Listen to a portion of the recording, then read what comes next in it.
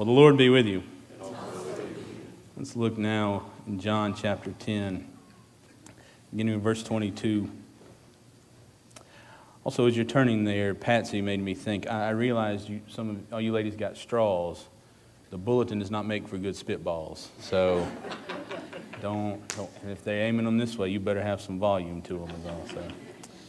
John chapter 10, beginning with verse 22. We'll be reading through verse 30. At that time, the festival of the dedication took place in Jerusalem. It was winter, and Jesus was walking in the temple in the portico of Solomon. So the Jews gathered around him and said to him, How long will you keep us in suspense? If you are the Messiah, tell us plainly. Jesus answered, I've told you, and you do not believe. The works that I do in my Father's name testify to me, but you do not believe, because you do not belong to my sheep. My sheep hear my voice. I know them, and they follow me. I give them eternal life, and they will never perish. No one will snatch them out of my hand. What my Father has given me is greater than all else, and no one can snatch it out of the Father's hand. The Father and I are one. May God bless the reading and hearing of Holy Scripture. Would you pray with me?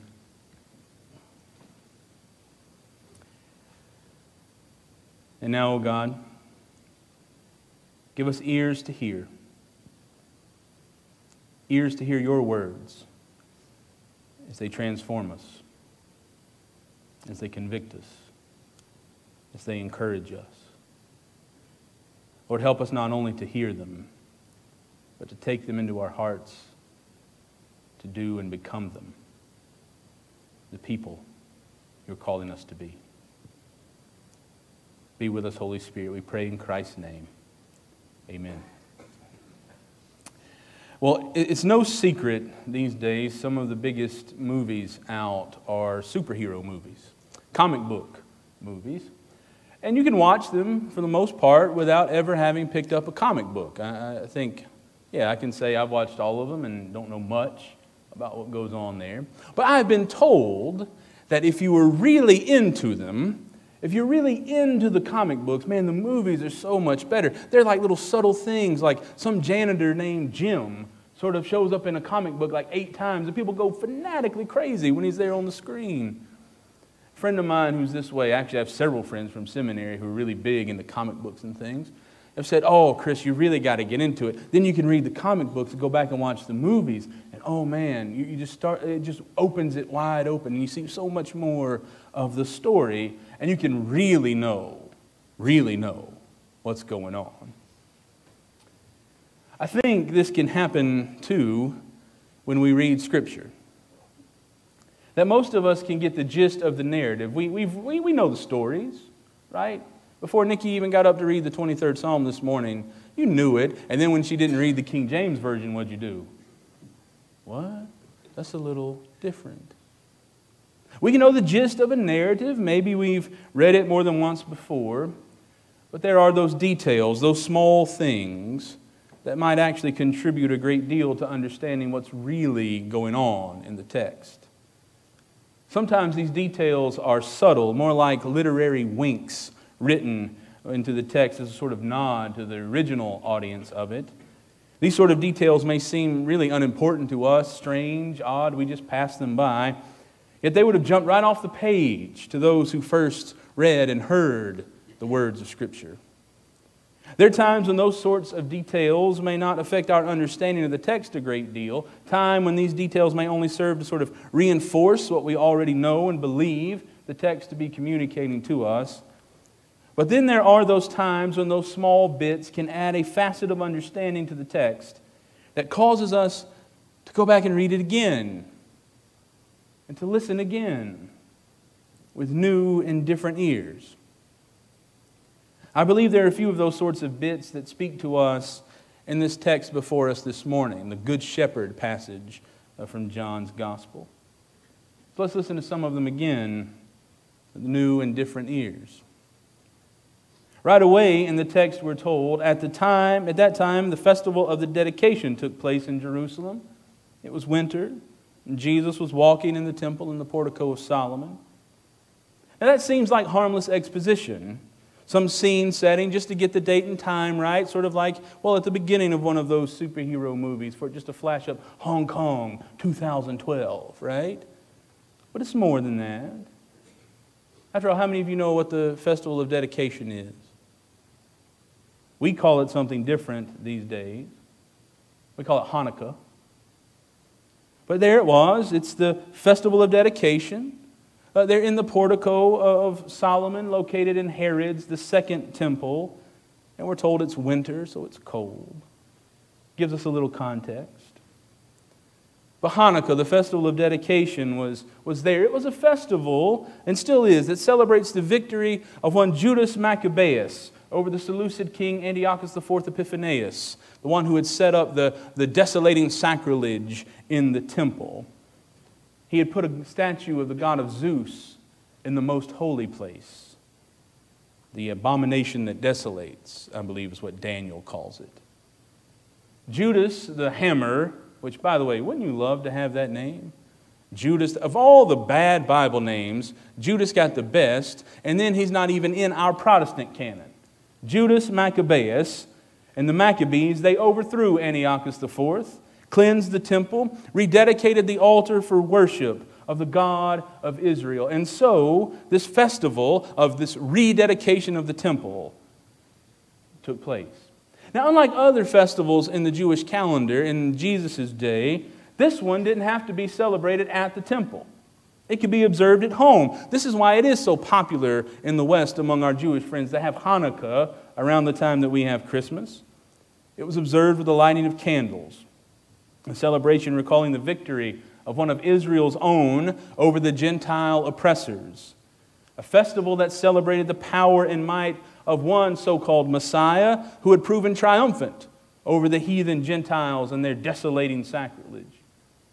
And while it may not have been one of the most major festivals of the day, the festival of dedication surely would have taken place, and people definitely would have talking, been talking at this time about the Messiah about the Gentiles, about the Roman oppressors, and the need. Yeah, you know what we need? We need another Judas the Hammer, someone who's going to rise up and get rid of Rome. That's what we need. That would have been the conversation as they lit the candles on the menorah. The need for the temple to be cleansed again. Now, I don't doubt that with such talk, such imagery in the hearts and minds of the people, there may have been some questions, some murmuring about this Jesus of Nazareth. Possibly, possibly gathering up a movement to be like Judas the Hammer before him, to overtake the Romans, to reinstate some sort of Jewish government over the city of Jerusalem, if not all over Judea. And I suppose that's why we were told, John says, the Jews gathered around him, said to him, How long will you keep us in suspense? If you are the Messiah, Tell us plainly. Maybe they had just lit one of the candles on the menorah to come to Jesus and say, You know, we've been talking at home. Are you the Messiah? We've been celebrating Judas and, and the victory over the Gentiles. Are you the one who's going to give it to us again? But here again, though, there's a bit of context we're lacking. You see, at first reading, the Jews, what the fourth gospel terms these Jewish leaders in opposition to the Jesus movement, they seem anxious almost wanting Jesus to surprise them, to claim to be the Messiah. How long will you keep us in suspense? The NRSV says. It sounds like they're on the edge of their seats, on the verge of either believing Jesus and following him, or just throwing out his whole ideology and looking for the next so called Messiah. But here's the thing, though. What those people are literally saying, the way you literally translate it, how long are you going to keep taking away our life? Now, that sounds a little different, doesn't it, than how long will you keep us in suspense? Even still, it's still not right to translate it literally. It's more of an idiom, more of an idiom among the Jewish folks who spoke Greek in those days. How long are you going to take away our life is more understood as how long are you going to keep on irritating us? How long will you keep bothering us? Just spit it out So the question in verse 24 is perhaps better understood as something like How long will you keep annoying us? How long will you keep bothering us? If you are the Messiah, tell us plainly. Stop speaking in riddles and avoiding our questions. That's a better way, I think, to translate it. These Jewish leaders are annoyed, they're irritated with Jesus. He refuses to answer their questions directly, refuses to fess up to whether or not he's the Messiah. And perhaps Jesus just likes messing with them, likes to keep them on their toes. But judging by his response in verses 25 through 30, Jesus, well, he's already answered their questions. I've told you, he says. You just don't believe. The works that I do in my Father's name testify to me, but you don't believe. Because you do not belong to my sheep. My sheep hear my voice, I know them, they follow me. I give them eternal life, they'll never perish. No one will take them out of my hand. What my Father has given me is greater than all else, and no one can snatch it out of the Father's hand. The Father and I, Jesus says, are one. I've already told you. That's what he says. But like that cold winter air just outside the protective walls of Solomon's portico, their understanding of Jesus is cold, it's frigid, it's, it's unmovable because they've brought their own expectations with their questions. Expectations of those who already have it figured out, those who already believe they know what and who the Messiah is supposed to be. Jesus has already told them the answer to their question, but they can't hear because they have the ears of those who've already decided who and what God's anointed one is supposed to do, what the Messiah is supposed to be. They're like those folks who, when they ask you for your opinion, they're not so much looking for your opinion, but to see whether or not you agree with theirs. The Jews, as John calls them, had the image of one like Judas Maccabeus, one with a name like the Hammer, who would rise up as a powerful political hero, who would storm the palaces of the Romans, waving the flag of his people in one hand, wielding a terrible swift sword in the other. And perhaps they had in mind a Messiah who would make it worthwhile to be a part of the Jewish elite, part of the upper crust of the Israelite establishment. One who would fully reinstate the temple cult and its practices that favored those who could make the journey to Jerusalem, those who could afford the sacrifices.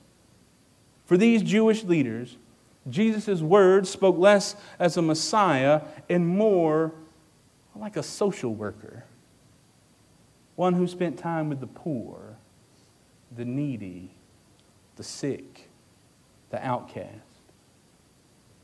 I mean, sure, he had performed some signs of power and wonder, miracles like feeding thousands of people, healing the sick, giving sight to the blind, even raising the dead. But had any of those actions actually driven out a single Roman? He even raised a Roman's daughter from the dead. Had Jesus' actions actually benefited the Jewish nation as a whole? What about the temple? What about, what about this pride and desire to be governed once again by God's people? Jesus hadn't done anything to bring anything like that about.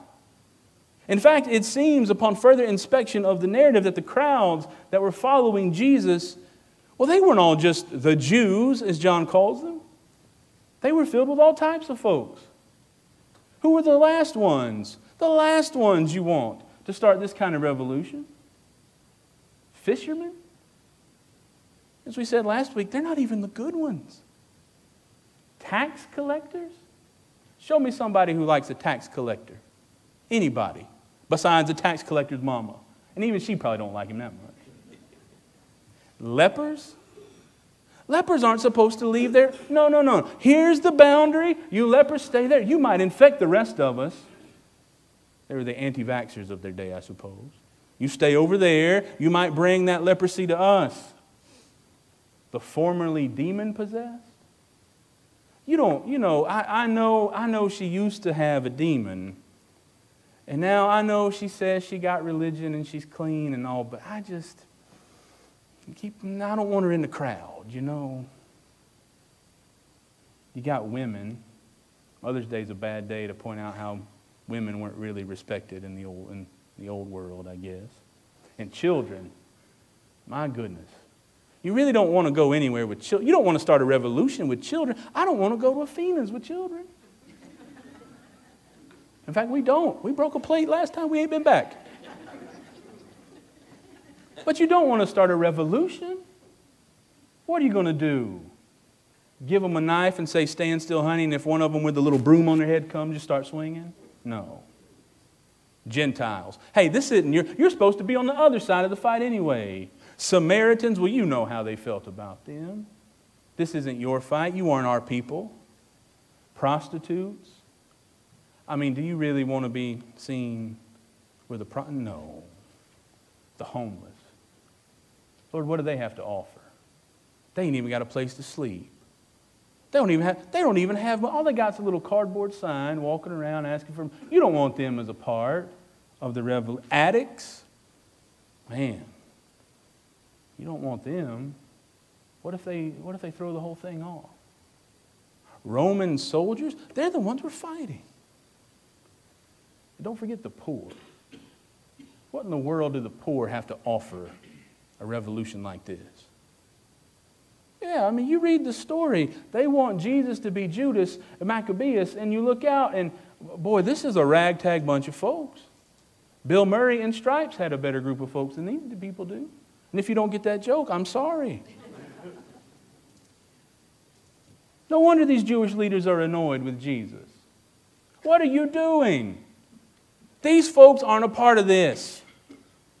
There's all the hype, all this talk about Jesus being the Messiah, and he can't even put together a decent following. They're frustrated, annoyed, because Jesus won't answer them directly. You know, Jesus, if you just answered us directly, all the good folks would get on your side and we'd go. We go right now to the temple. But the truth is, Jesus has answered them loud and clear. They just don't like the response they got from him. So they refuse to take it seriously, to listen to it with ears tuned for the voice of the Good Shepherd. And aren't we like that sometimes? Don't we have our expectations of what Jesus should do? of who Jesus should be? Don't we bring our own certainties to the table when it comes to defining who Jesus is? We've read the scriptures. We say we've read the prophecies. We've listened to the preachers tell us about the sweet by and by and the Christ who promised us health, wealth, and prosperity. We've got our own expectations of a Jesus who, who, who likes the things we like, who doesn't like the things we don't like, a, a Christ who sees things our way, who speaks our language, who meets our needs. But isn't it just a bit annoying when Jesus doesn't meet those expectations? Doesn't it let you down just a little bit when you've prayed and prayed and prayed and you don't get what you want? Isn't it frustrating when Jesus proves to be more than the image we've carved out for him, more than the box we've tried to keep him in? When we listen to the words of Jesus, of the Good Shepherd found in Scripture, when we listen for the words of Jesus from the Holy Spirit, when we listen to his words with our own ears, ears tuned for happy platitudes, self serving arguments, and proof texts, I'm afraid more often than not we wind up just like these Jews in John's Gospel. At best, we're in suspense, mostly wanting to hear what's next, hoping the next word is the right word. But mostly, mostly sometimes we get frustrated and annoyed because Jesus isn't fitting in our plans, our picture of what a Savior is supposed to be. However, when we listen with the ears of sheep, listening to the voice of the Good Shepherd, we cannot help but hear the very heart of God when we listen with ears tuned for the kingdom of God, a kingdom made up of all the wrong kinds of folks it takes to make a movement, all the wrong kinds of people it takes to start a revolution, all the wrong kinds of people, period. When we listen with ears tuned to that kingdom, when we listen with those kinds of ears, we are sure to hear the good news that has made a way where there once was no way. And that's not to say there won't be times along the way when we won't get annoyed, when we won't be irritated or frustrated by each other, by the words of Christ, by the truth of the gospel. After all, Jesus' words are actually for everybody. The gospel is for everybody. And let's face it, I don't like everybody. I don't know if you like everybody. We may not want other sheep following our shepherd, listening to his voice, getting in on all that grace going around. But the truth is, there is a wideness to the love and grace of Christ that is beyond our expectations, that is beyond even our comprehension. That's why we can listen in the first place. That's why I'm allowed to listen in the first place. That's why we know the Savior's voice. Because, in spite of our own stubbornness, like sheep, in spite of our own expectations and desires of a custom made Christ, God still gives us grace. The voice of Christ still calls us with words of love. The shepherd's voice is not one of which to be afraid. It is a voice of love, a call of love. And so may we listen to his call. Not with ears searching for what we hope to hear, what we want to hear, but with ears of sheep who belong to the Good Shepherd. May we listen to the Savior's voice and follow him, for he's calling now.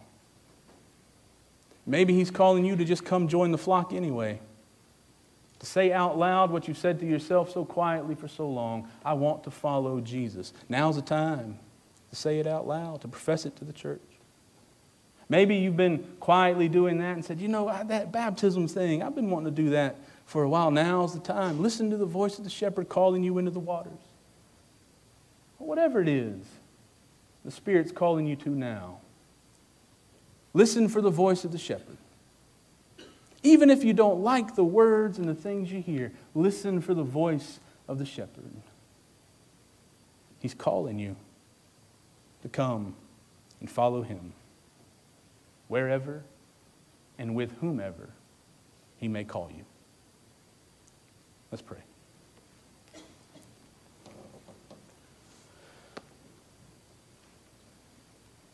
Lord Jesus Christ, Son of God, giver of the Holy Spirit, and the Good Shepherd. Lord, we are your sheep. And we come now, Lord, to listen to your voice. So call us. Help us, Lord, to hear you calling. Not whatever it may be that we hope to hear, but God, what you have for us. For as your sheep, Lord, we know that whatever it is you call us to, whoever it is you call us with, Lord, it is not for our detriment, but for the goodness of your kingdom. So, Holy Spirit, speak. Move among us now. Help us, Lord, to make whatever moves, whatever decisions, whatever it is on our hearts you have for us this morning. Help us to take hold and give us the courage to act. We pray in Christ's name. Amen.